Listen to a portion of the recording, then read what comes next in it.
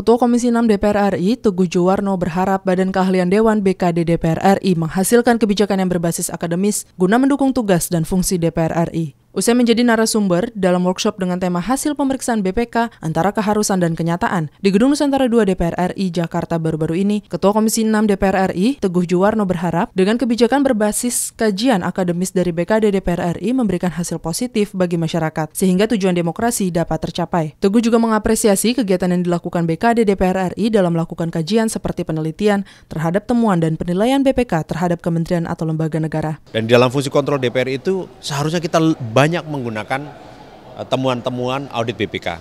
Ini yang selama ini saya rasakan sendiri belum digunakan secara maksimal oleh teman-teman eh, dewan di alat kelengkapan, khususnya di komisi.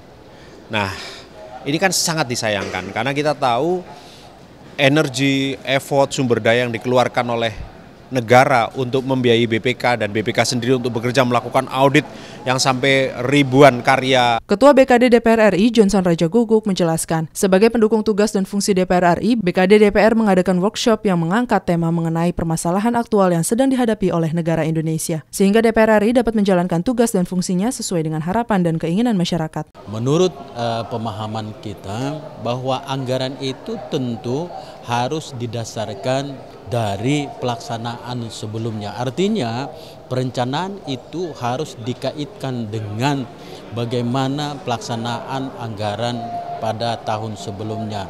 Karena itu menjadi penting melihat hasil-hasil pemeriksaan BPK itu dan sebetulnya itu menjadi penting bagi Dewan. Ajib Caniago dan Dwi, TVR Parlemen, melaporkan.